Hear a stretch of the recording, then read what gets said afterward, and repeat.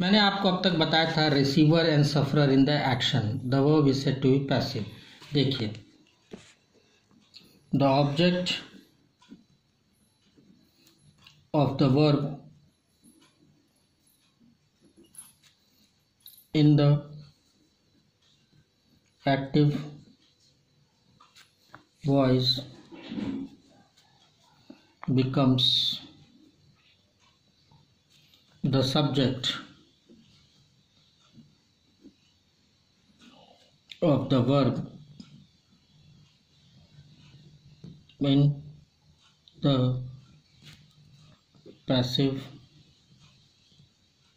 voice हाँ अब देखिए note how verb change note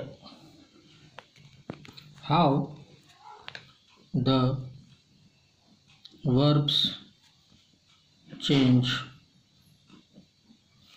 from active voice to the passive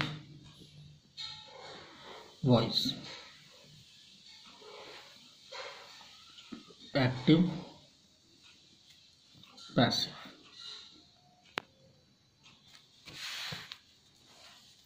Take. Yet takes. क्या हो जाएगा? Am taken is taken are taken अगर एक्टिव वॉइस में टेक है आई टेक ए पेन तो इसका पैसिव क्या हो जाएगा? I am taken a pen या दे इज़ ए तो इसके साथ जब टेक आएगा तो टेकन होगा। मतलब आप देख रहे हो take took taken third form of verb यहाँ पे यूज़ हुआ है। तो ये टेक हुआ। अब ऐसे ही अगर टुक होगा तो वॉज़ टेकन वेयर टेकन इस तरह से आएगा। अगर आप होगा, has taken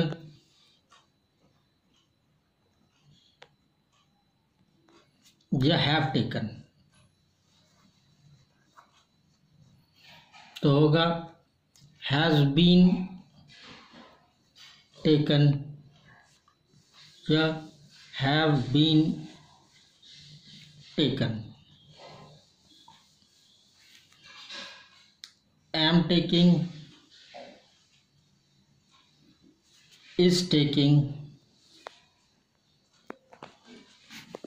Are taking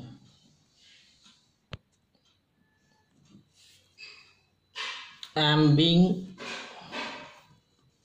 taken is being taken are being taken देखिए पास्ट टेंस में was taking were taking was being taken were being taken. Will take can may must take.